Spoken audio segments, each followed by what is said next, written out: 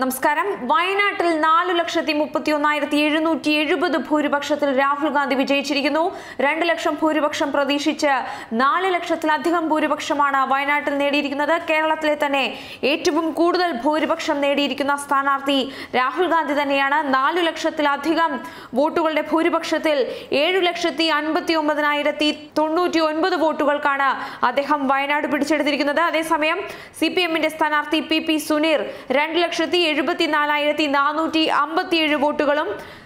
B D J സ്ഥാനാർത്ഥി തുഷാർ വെള്ളാപ്പള്ളി എഴുപത്തി എട്ടായിരത്തി എണ്ണൂറ്റി ഒൻപത് വോട്ടുകളുമാണ് വയനാട്ടിൽ കരസ്ഥമാക്കിയിരിക്കുന്നത്.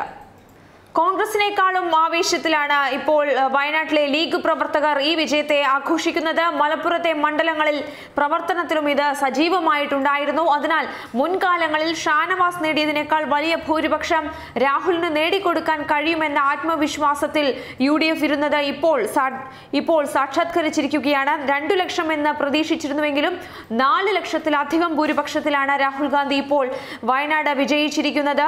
വയനാട് ജില്ലയിലെ കൽപ്പറ്റ മാനന്തവാടി സുൽത്താൻ ബത്തേരി കോഴിക്കോട് ജില്ലയിലെ തിരുവമ്പാടി മലപ്പുറം ജില്ലയിലെ ഏറനാട് വണ്ടൂർ നിലമ്പൂർ എന്നീ ഏഴ് നിയമസഭാ മണ്ഡലങ്ങൾ ചേർന്നതാണ്.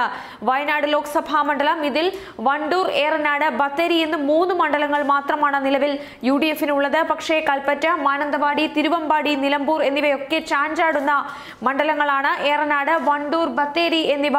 യു ഡി എഫിന്റെ ഉറച്ച കോട്ടകളാണ്. ഇവിടെയെല്ലാം രാഹുൽ ഗാന്ധി എല്ലാ മണ്ഡലത്തിലും നേരിയ ഭൂരിപക്ഷം നേടിക്കൊണ്ട് തന്നെ വലിയ ഭൂരിപക്ഷത്തോടു കൂടി തന്നെ അദ്ദേഹം ജയിച്ചിരിക്കുകയാണ്. കാർഷിക വില തകർച്ചയും സാമ്പത്തിക മാന്ദ്യവും വല്ലാതെ ബാധിച്ച വയനാട്ടിൽ കേന്ദ്ര സംസ്ഥാന സർക്കാരുകൾക്കെതിരെ ഒരുപോലെ ജനരോഷമുണ്ടാകുന്നതായുള്ള സർവേ വിലയിരുത്തലുകൾ ഉണ്ടായിരുന്നു. ഈ ഇരട്ട ഭരണവിരുദ്ധ വികാരത്തിന്റെ ആനുകൂല്യമാണ് ഇപ്പോൾ രാഹുൽ ഗാന്ധിക്ക് ലഭിച്ചിരിക്കുന്നത്. കഴിഞ്ഞ ലോക്സഭാ മണ്ഡലത്തിൽ ഇരുപതിനായിരത്തോളം വോട്ടിന്റെ കുറഞ്ഞ ഭൂരിപക്ഷത്തിനാണ് ഇവിടെ കോൺഗ്രസ് നേതാവ് എം ഐ ഷാനവാസ് ജയിച്ചു കയറിയത്. അതിനു മുമ്പത്തെ തെരഞ്ഞെടുപ്പിൽ ഷാനവാസിന് തന്നെ ഒന്നര ലക്ഷം വോട്ടിന്റെ ഭൂരിപക്ഷം ഒറ്റയടിക്ക് ഒലിച്ചുപോയത് കോൺഗ്രസ് കേന്ദ്രങ്ങളെ ഞെട്ടിച്ചിരുന്ന ഒരു അവസ്ഥയായിരുന്നു. മധ്യ തിരുവിതാംകൂറിൽ നിന്നുള്ള കുടിയേറ്റക്കാരും ആദിവാസി സമൂഹവും അടക്കം വൈവിധ്യങ്ങളോടെ ആളുകൾ ജീവിക്കുന്ന ഒരു പ്രദേശമാണ് വയനാട് ലോക്സഭാ മണ്ഡലം കാർഷിക പ്രശ്നങ്ങൾ നിറഞ്ഞ ഈ മണ്ഡലത്തിലാണ് കോൺഗ്രസ് അധ്യക്ഷൻ രാഹുൽ ഗാന്ധി നാലു ലക്ഷത്തിലധികം ഭൂരിപക്ഷത്തോടുകൂടി വിജയക്കൊടി പാറിച്ചിരിക്കുന്നത്. ഇതോടെ ലോകം ആകാംക്ഷയുടെ ഉറ്റുനോക്കിയ ഒരു മണ്ഡലമായി മാറിയിരുന്ന വയനാട്